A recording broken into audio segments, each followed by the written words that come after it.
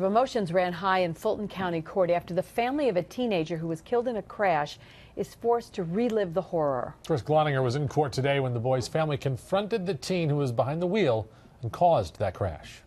Uh, Justin VanNostrand, it's the judgment of this court that on your conviction for the crime of manslaughter in the second degree, you are hereby sentenced to an indeterminate sentence of incarceration in the custody of the New York State Department of Corrections for a minimum term of two and one third years and a maximum term of seven years.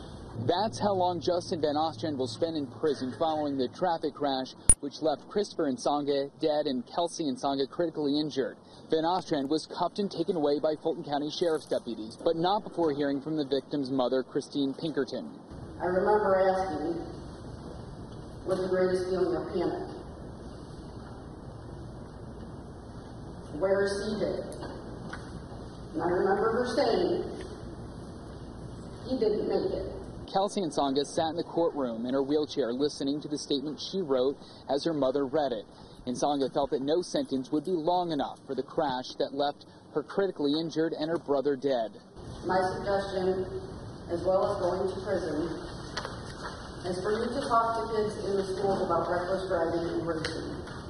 After the family spoke, VanNostrand read a brief statement. I stand here today to, because of the family, the Elmendorf family, and the family, my apologies.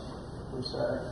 After spending the afternoon in court, coming up on the CBS 6 News tonight at 6 o'clock, we'll bring you back to the accident scene along Route 29 in Fulton County. And we spoke with some of the residents who are still unsatisfied that public officials have not done anything to improve the safety along that stretch of road. Reporting in Johnstown, Chris Gloninger, CBS 6 News.